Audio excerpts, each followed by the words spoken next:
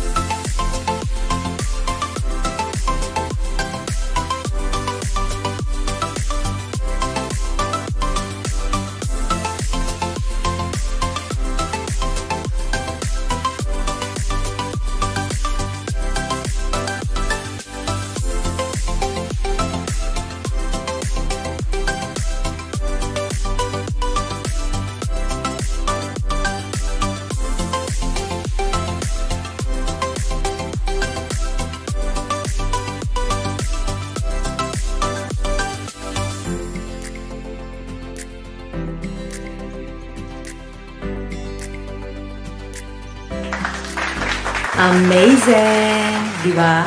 Let's go with the details and project presentation of Vale Residences. Why invest in Cagayan de Oro City? Unang-una, Cagayan de Oro is a first-class, highly urbanized city ranked number 7 next to Makati. CDO is considered the melting pot of Region 10 and also known as the City of Golden Friendship. Alam nyo ba na considered ang CDO as the whitewater rafting capital of the Philippines? Now we move on to the short project overview and presentation of Vale Residences. Uptown Cagayan de Oro Located within a private estate, Uptown Cagayan de Oro is northern Mindanao's finest neighborhood. Live it up in an area where the region's best educational institutions, shopping, entertainment, and leisure establishments are within reach. It's a 5-hectare master planned condo development located in Barangay Carmen, Uptown Cagayan de Oro City. Highly accessible with the major highways, schools and universities, shopping malls, churches, churches, and hospitals. Walking distance lang ang SM City Cagayan de Oro, kaya hindi ka nahirap sa pagbili ng mga groceries mo. Here are the list of the major places of interest.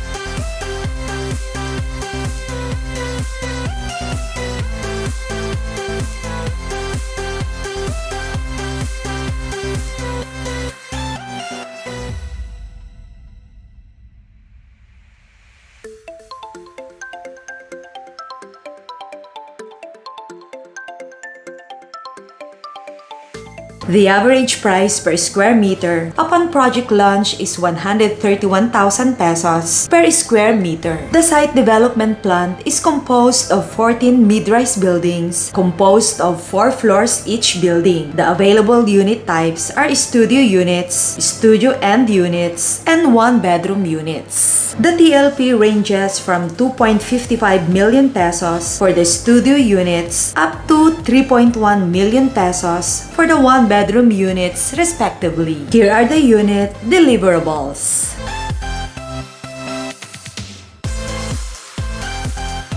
The world-class amenities of Vale Residences includes clubhouse,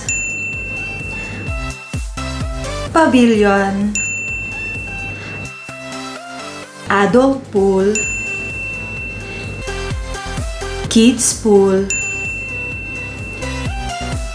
kids zone, outdoor gym, covered basketball court, jogging path, linear parks, and Greenway Park.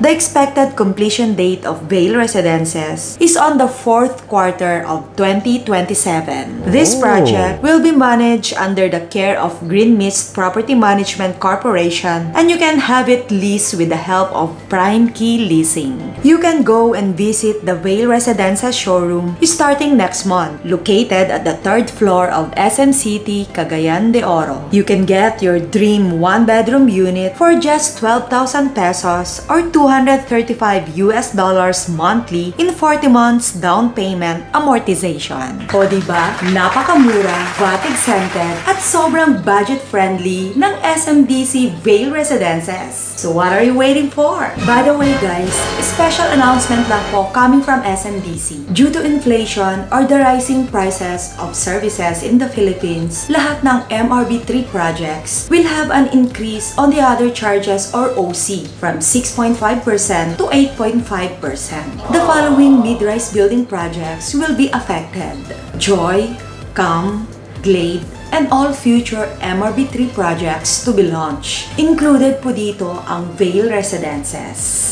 If you like my project presentation, be sure to like, subscribe, and hit the bell icon to help grow and support my channel. Umiwas po tayo sa scam and talk to unauthorized SMDC International Marketing Partners only. Like me, makakatipid ka na may malaking discount ka pa. O, diba? Thank you for watching, guys. This is Desai Barreto saying, let your money work for you. Start your real estate investment now with SMBC.